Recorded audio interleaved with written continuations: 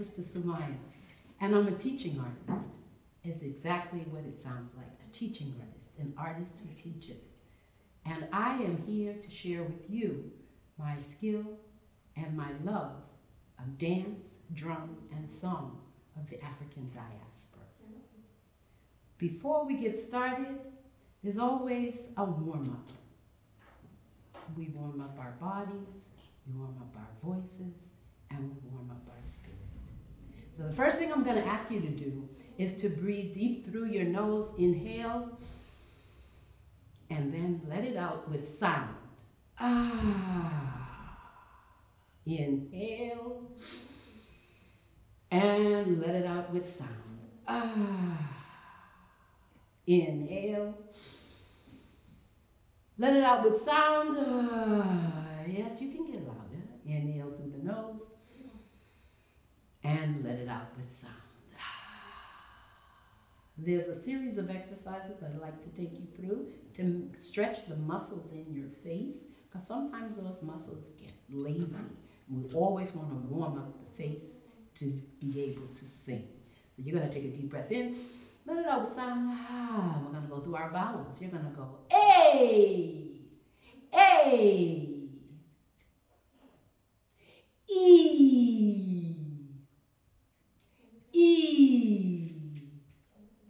This one is a big one. Raise up your forehead, open your eyes, and stretch those muscles and go I.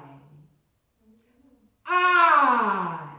Now the next one, come deep from your gut in a deep, deep tone and go, oh, your chin is into your chest. Oh, very good. Oh, next one, you just ate a lemon. You're gonna scrunch up your tight. You're gonna go, ew, ew, ew. And the last one is you're gonna use your arms. You're gonna look up towards the sky and you're gonna go, why? You can do that with a smile. A E I O U Y. Very good.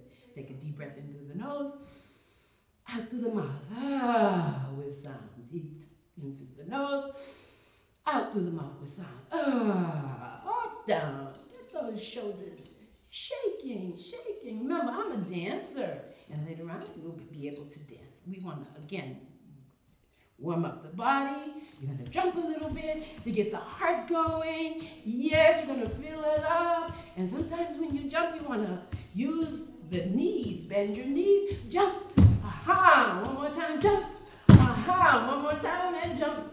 Aha. Your heart should be beating. Don't immediately stop. Keep bouncing. Bounce is important in dance.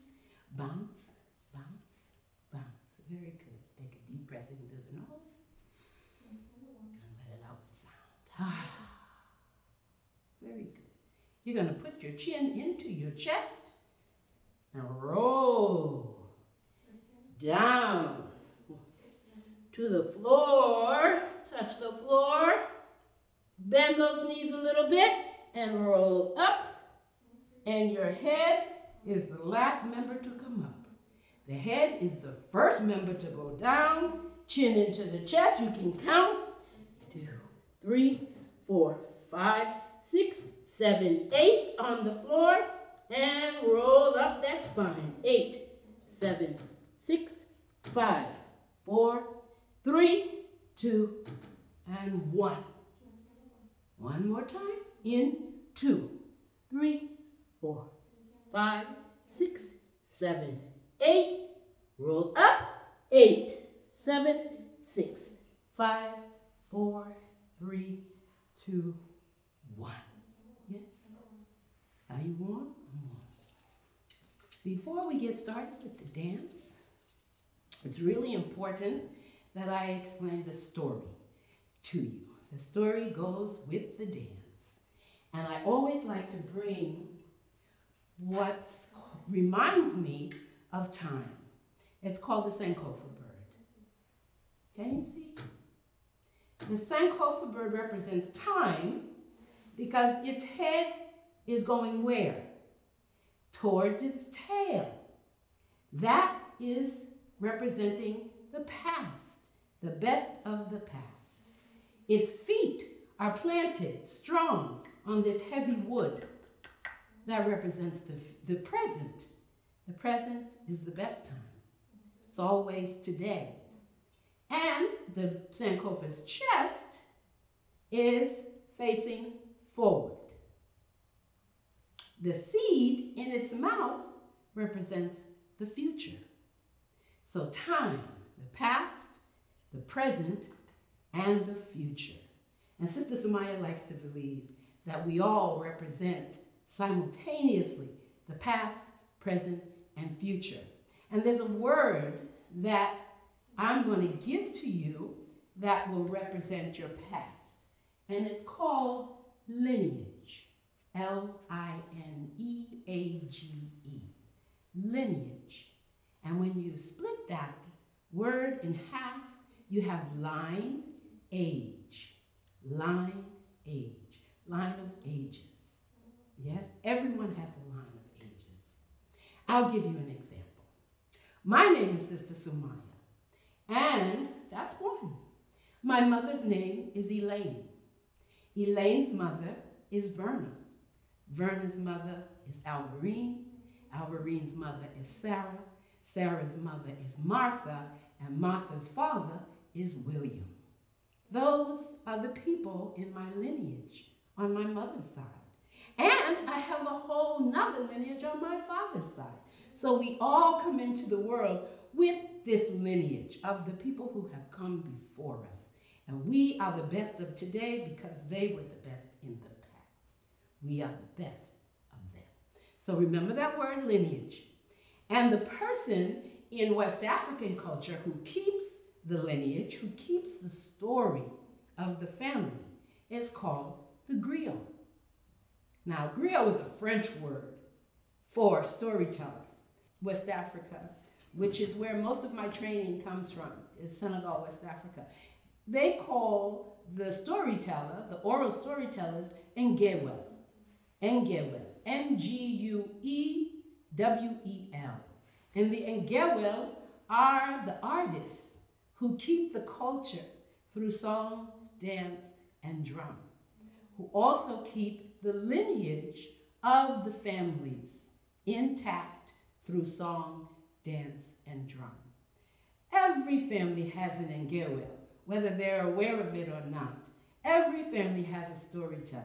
Every family has a person that is interested in the lineage of the family. And the way that you identify that person in your family is by who has the pictures. Who has the pictures of the relatives who you are not, who you don't know, who you may not know their name, you may not know where they live, you may not know where they're from.